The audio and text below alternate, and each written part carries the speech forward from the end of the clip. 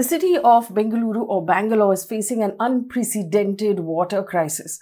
Temperatures are soaring up to 35 degrees in the middle of the day, which is unheard of and never been experienced at this time of the year. There's no water in most homes. And at the beginning of the summer, this is likely to continue and get a lot, lot worse. It's being compared to situations in California or parts of South Africa where severe drought was experienced. Let me tell you how bad the situation is right now. As of the 6th of March, all of the districts occupied by Bengaluru urban have been declared drought hit.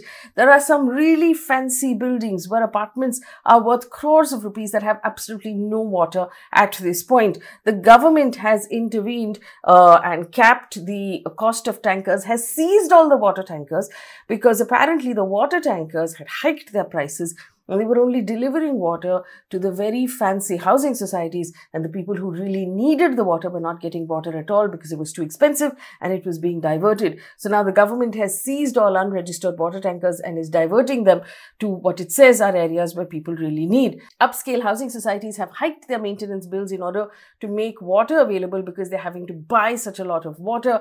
Uh, apparently, one uh, housing society has actually asked its uh, you know people to use disposable cutlery and use wipes to wash their hands and faces in order to save water.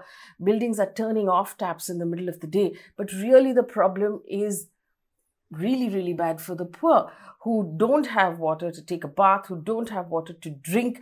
Uh, water that is being drawn from bore wells is not supplied to them. Schools might also temporarily have to shut because there's no water in, there's no running water in those schools and they can't give school water uh, to the students who are there. Now what has the karnataka government done? They have allocated 550 odd crore rupees to solve the problem. As of the 7th of march water tankers owners have to register their water tankers with the government and officials have been uh, now also said to utilize have been told to utilize empty milk tankers to actually transport water. The prices have been capped now from 600 to 700 rupees for a tanker. It had really gone up to about 2000 rupees. The city has also now banned the use of Kaveri river water for washing your cars, for gardening, for construction, for water fountains and road construction. Uh, there's a fine if you use that water for the wrong reasons. Borewell water might be used for these things and that, of course, is causing a lot more problems as well. The civic body is also now digging more bore wells and going deeper in 58 areas in order to get water to people. How did it get to this point? And this, I want to point out, is a problem that is personal for me because it's been brewing in the city of Bengaluru for a really, really long time. And successive governments have ignored the problem and have refused to invest the time and the energy that's needed to find the solution. Now, let me tell you why this problem is happening construction construction construction. If you if you go to bangalore you will see construction as far as the eye can see.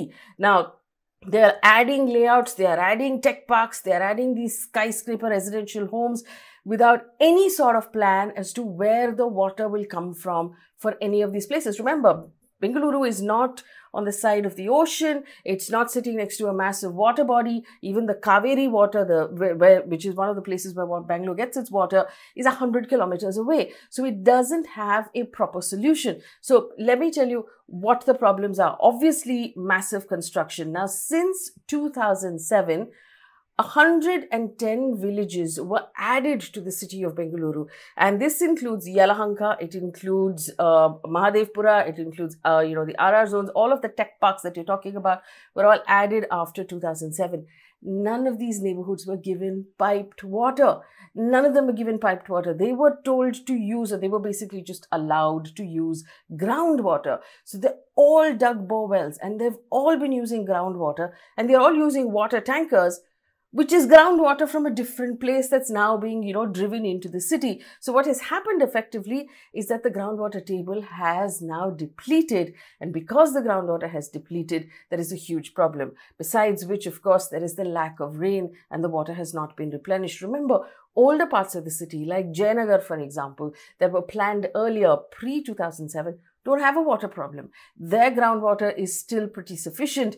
The worst crises are being uh, felt in the IT corridors, Whitefield, Varthur, Sarjapur. These are all these new areas that are coming up for which the government has not made a plan. Remember, they don't have piped water, which is completely atrocious. Now, researchers from IISc Bangalore have pointed out that there has been a 1000% increase in concretization of the city of Bengaluru and a 79% loss of water bodies in the last 40 years. Uh, now, I also want to point out to you that effectively, when you when a city is relying so heavily on groundwater, what that effectively means, it's relying on rain. Uh, and when the rain falls from the sky, it needs sink land, which means forest areas or wooded areas or large lakes where the water has an opportunity to sink into the ground and replenish the water table. Now, as you continue to build and concretize large areas around the city, what happens effectively is that the water has no place to sink into the ground. It actually runs off and it's not replenishing the water table. So that is a massive problem. Secondly, the actually the massive lakes around which Bangalore, the man-made lakes around which Bangalore was built, or Bengaluru was built, that was meant to actually re replenish the groundwater, have been drained and you've built on them. So there is no way for that water to reach the table and replenish it. Now, I'll give you an example. The city up till 1961 had 262 lakes. Do you know how many it has now?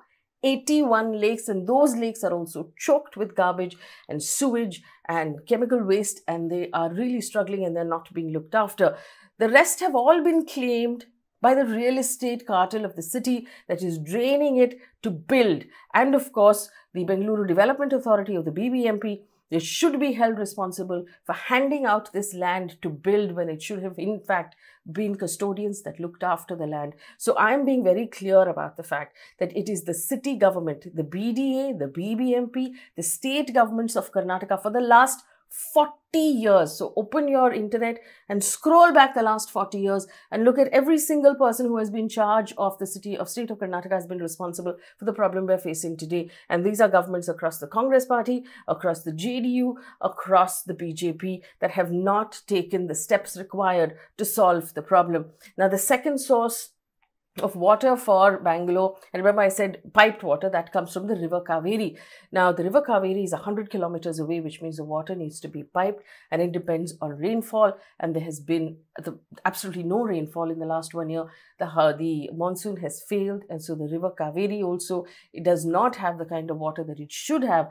Uh, and there's not been enough rain. And so that is a problem as well.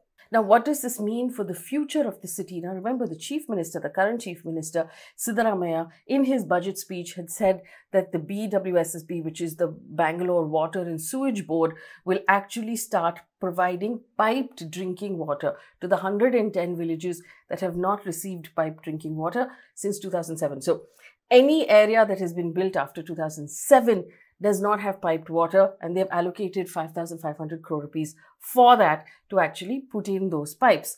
But with the acute rainfall shortage in uh, you know the Kaveri basin, even if you pipe at this point, if there's no water, what will you pass on? So really, what Bangalore is lacking along with water at this point is political will. Political will that we continuously have not had for 40 years. In fact, the United Nations in a recent report has projected that India will be most severely actually affected by water shortage by 2050 and it places a large number of people in our country in a water scarcity area what does the government of Karnataka need to do? Now, it is in immediate looking at bussing in or tankering in more water into the city and making sure people have water, conserving water. Uh, swimming pools are going to be shut. People are not going to be able to wash their cars. Uh, and the usage of water is going to have to be really, really careful. But in the long term, they will have to revive the lakes. They will have to revive the drains or the, the Raj as they're called in Karnataka, in Bangalore that actually drain from one lake into another lake to make sure that the water is adequately stored. They will have to insist that each of these fancy tech parks and housing societies also start now water harvesting every time it does rain so that they actually are able to store their own water or use their own water. They will have to start looking after large empty areas of land, allow them to just grow, grow trees so that they can be larger sinks so more and more water can be collected. But what it needs, like I said, is political will to solve the problem. And this is why I'm looking upset, right? All of the construction that you see happening in Bengaluru has not just come up on its own, it's not mushroomed on its own. Every single building has received permissions from the government. Every layout has received permissions from the government, generating a great deal of money in taxation and a great deal of black money for politics. So, all of this growth that Bengaluru has witnessed, in spite of its successful governments, not because of them, they have benefited monetarily from, but that money has not been rolled back into the city to actually come up with long term solutions. They've chopped up all of the trees, they've taken away all of the green mm-hmm. cover, they're constantly looking for new ways to reduce the green cover of the city, and they're constantly talking about development when they actually should be talking about sustainability. As more and more people move to Bengaluru to live there and work there, remember, Every single person in the city pays tax. They pay income tax, they pay property tax, they pay road tax, they pay GST to the state and the central government. They deserve better than having to wipe their hands instead of washing their hands and not having enough water to drink. It is not fair. The citizens of Bengaluru must demand better from their governments, city, state, and center.